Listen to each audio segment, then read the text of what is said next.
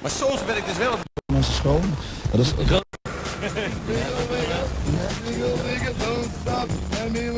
So what says in your energy? Hey, oh, we zijn begonnen. What's up, niggas? West side in the house, represent. It's the D, the dark key, you know what I'm saying? For me, the Punani. For you and me, and the... Bacardi. Yeah, boy. What's up? Dat klaar, hoor. Voor de mensen thuis in Nederland. Je kijkt naar Bounce, een nieuwe programma hier bij TMF... waarin we alle helden uit de jaren 90 naar voren halen. En speciaal voor deze aflevering hebben we ook een hele groovy stoel. En een zeezieke stoel, ik weet niet hoor. Ik er een beetje wobbelig van deze stoel. Maar het gaat nog wel voorlopig hoor. En vandaag het programma hebben wij de motherfucking Dark Raver. Especially for you. What's up? Hardcore lovers in the house. Hardstyle lovers in the house. Underground Parkzeg lovers in the house. Multigroovers in the house. In the house Den Haag represent. West side is the best side. Back to you. Oké, ik dacht even dat we echt Ali G in programma hadden. Hoe doe, hoe doe je dat nou? Zo? Deze? Yeah. East side. Maar ik kom uit de West side. Den Haag West, weet je. En dit is de? Eh, metro, McDonald's, ik weet niet precies. Het, is de, is is de M-side. M-side. Nou, ik moet, ik moet eigenlijk beginnen met het programma. Ik, dit is het zwaarste programma van Bounce tot nu toe. We hebben namelijk de Dark Raver Steve. Hij komt uit Den Haag. Dit is het eerste Baco. Hij gaat er nog heel veel doen. We vallen straks om in deze stoelen. Zitten niet helemaal recht. Eh, we hebben het over de DJ's die eh Nederland hebben groot gemaakt. Op de landkaart met natuurlijk hardcore. Hij is er eentje van zometeen meer. En echt alles over Steve. De Dark Raver. Tot zometeen. Niet alles, hè? Alles. Niet alles.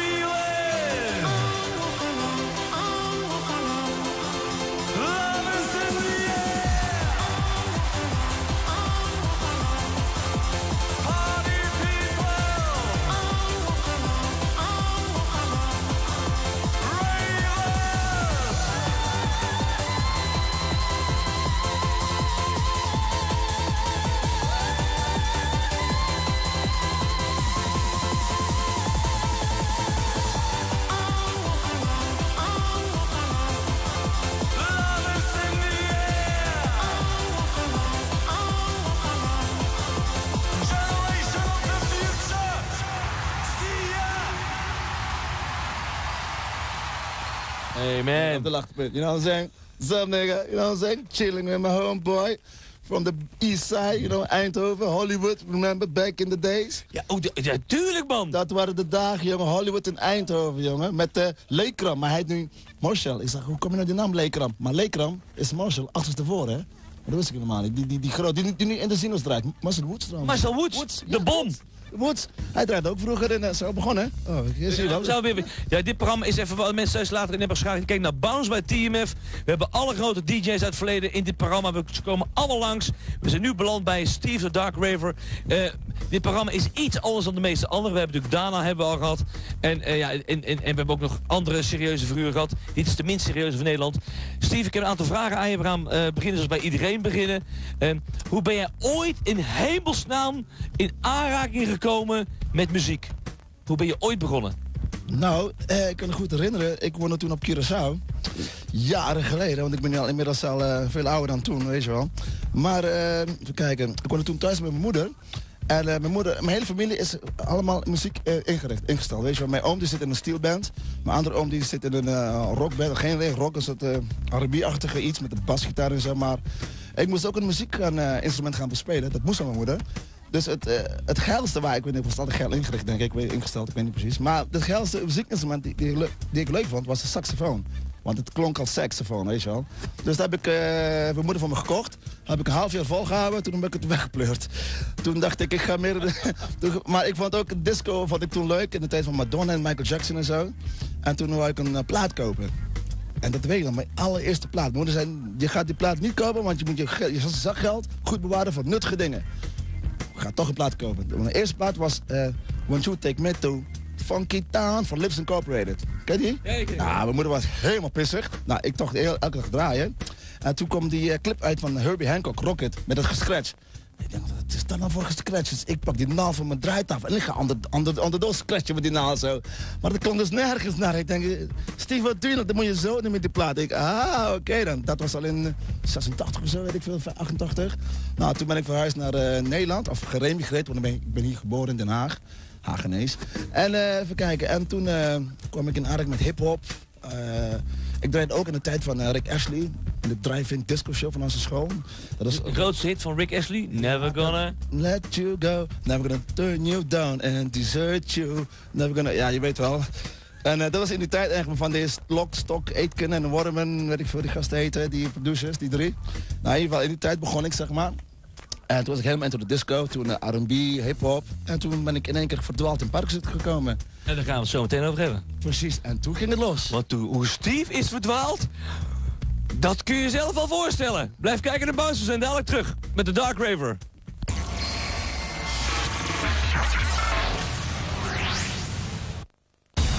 Dit is Temptation Island 2. Alle dances van dit moment. Gemixt.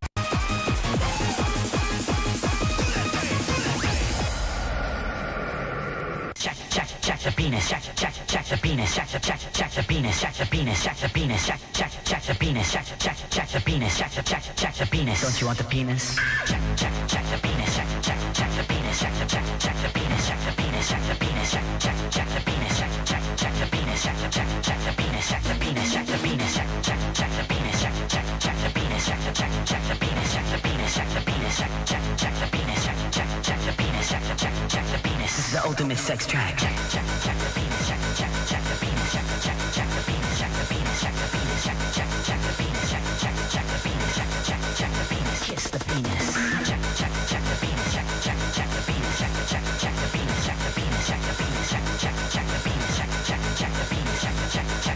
I'm giving you penis. Up and up and up and down. Up and up and up and down. Up and up and up and down. It's the ultimate sex track. Up and up and up and down.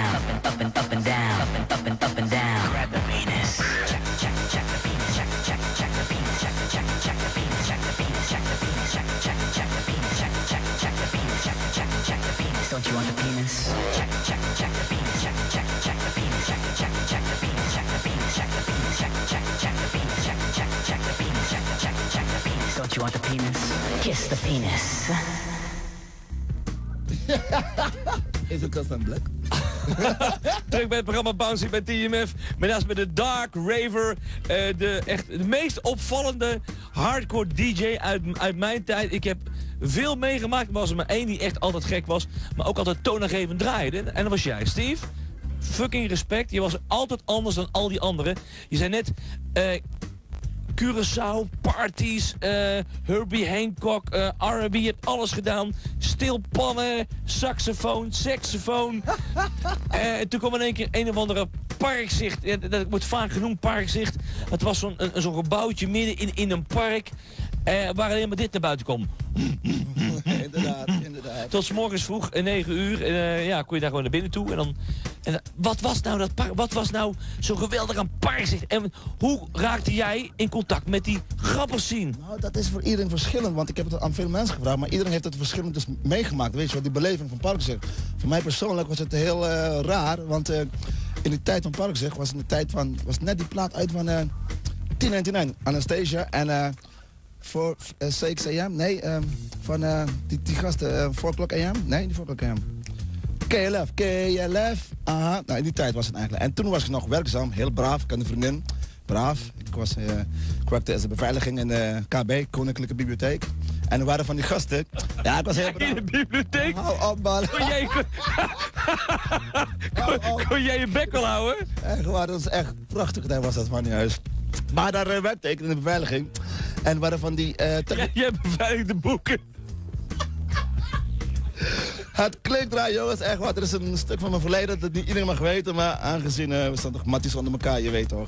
Alle, alle- alles kan, weet je wel. Maar in ieder geval waren van die gasten van die technische dienst. En dat waren gabbers. Tenminste, hun noemden zichzelf gabbers. Maar ik wist niet wat het was, gabbers. Ik denk, gabbers... eh, ja, ken je wel, maar misschien ben je mijn gabber. Nee, wij zijn gewoon gabbers, want we gaan naar het park zegt. En, ik snap het nog niet. Ga een keertje met ons mee. Komt allemaal goed.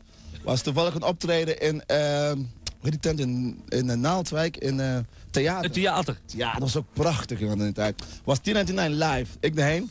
Ik dacht, wat is dit voor een herrie, jongen? Maar iedereen ging los, weet je wel. En toen daarna, toen was het klaar om twee uur. Toen zei ik, kom, we gaan naar een andere tent. Nou, een andere tent is nog iets open, weet je wel. Ik was nog heel naïef, weet je wel. En in ieder geval, wij gingen naar het park, zegt, en we kwamen binnen. En die gozer die geeft me een, een pil zo. Ik Zeg, eh, je- hoe moet ik ermee? Ja, je slikken. Ik zeg, Wat heb jij nou? Ik heb geen hoofdpijn, weet je wel. Eh, Ik heb in een pil. Nou, dan moet je man. Lachen, man was een bruin gestippelde. Jullie weten wel welke. Salmiakje. Ah, hey, you naughty boy. Maar in ieder geval, dat was een salmiak, ja, voor de kenners. Dus in ieder geval, dus ik dacht, oké, doe maar, hè, weet je wel. Dus ik kom binnen en eh, ik denk, wat is dit dan? Een half uur later, benen tintelen. Ik denk, zo, ik moet naar de DJ. DJ Rob toen. Aan het draaien natuurlijk. Ik denk, ik moet kijken wat hij allemaal doen. Dus elke plaat die hij draaide, gingen de mensen schreeuwen. En dat was een, eh, iets wat ik nog nooit heb meegemaakt. Omdat ik vaak draaide voor de hiphop mensen. En weet je, wij zijn gewoon cool, weet je wel. Al draaide dopest fucking beats gewoon. Wij, wij gaan gewoon zo uit ons dak. Zo, goede shit, man. weet je wel? Dus die waardering als DJ, die krijg je dan niet in de hip-hop scene, vind ik dan. Ja, tegenwoordig wel En een beetje. je dus wel een parkzicht.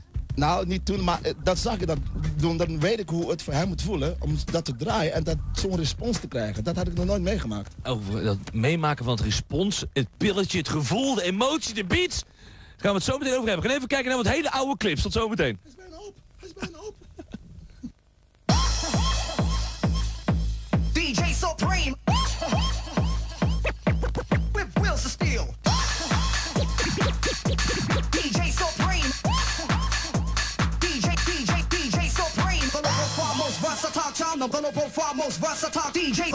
far most versatile child, number one undercover, the inventor of wild style. The local far most versatile child, the global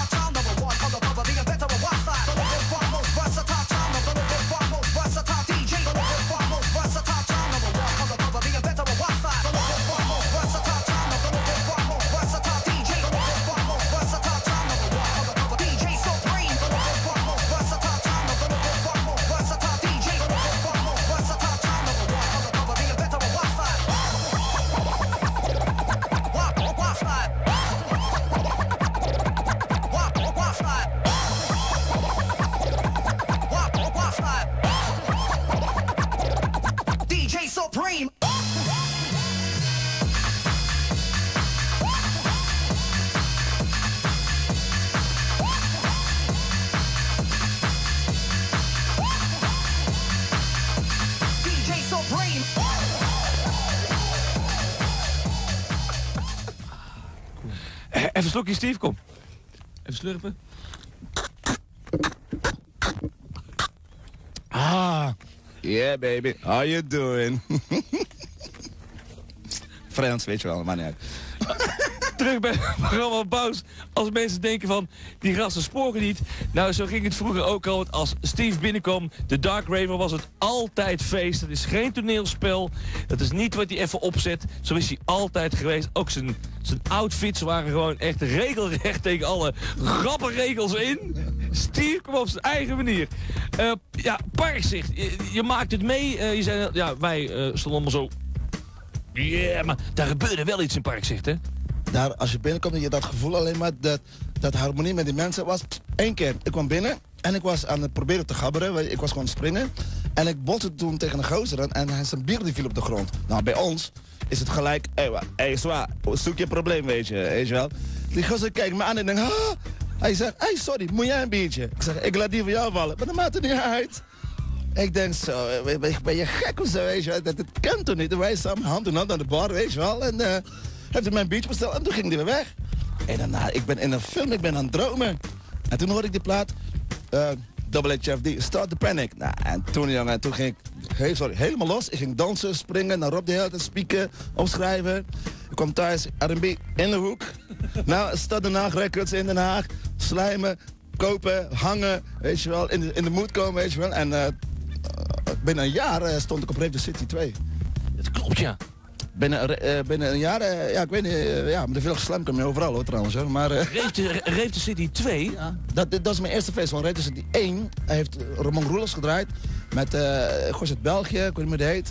En eh, Gizmo die draaide ook, maar die stond niet op de flyer, maar wel op Rave City 2. En daar stond ik dus niet op de flyer, want ik was de warming-up DJ tussen 10 en 12.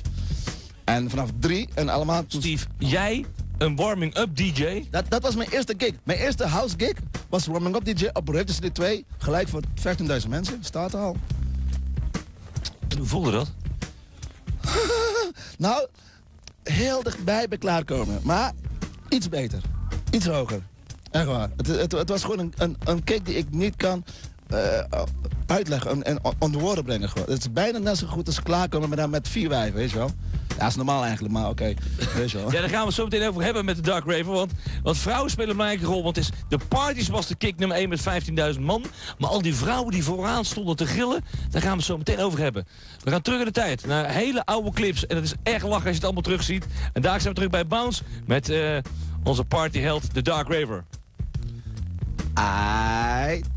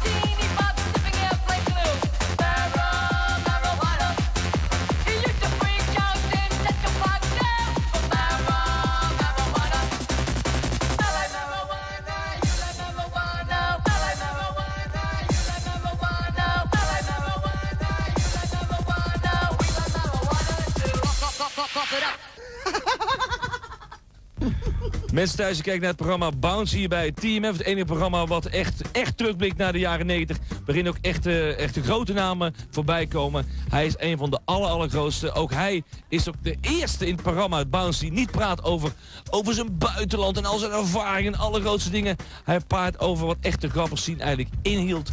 Lachen, lol, feesten met elkaar, parties, 15.000 man en al die lekkere wijven, Steve.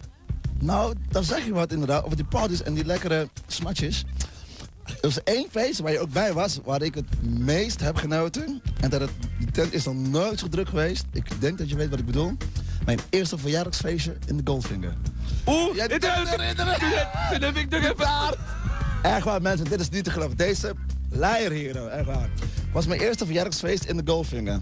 Want nog nooit heeft iemand toen eh, als DJ zijn een verjaardagsfeest gegeven. Dus ik denk, ik was, er, ik was er dus elke zondag met Gizmo. Jij was er ook elke wekelijks. Ramon, eh, die was er ook vaak. eh, Charlie Loonhuis.